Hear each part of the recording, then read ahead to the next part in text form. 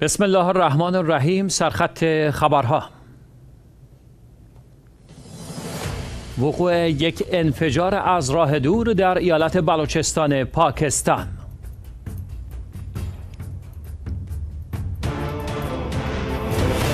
راهپیمایی اربعین سنتی دیرینه در میان شیعیان عراق که طی سالهای اخیر از دیگر کشورها هم به آن پیوستند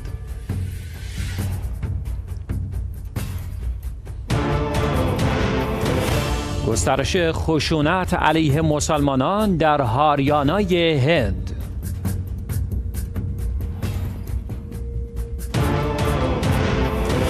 و سازمان ملل سه چهارم کودکان جنوب آسیا در معرض گرمای شدید هستند.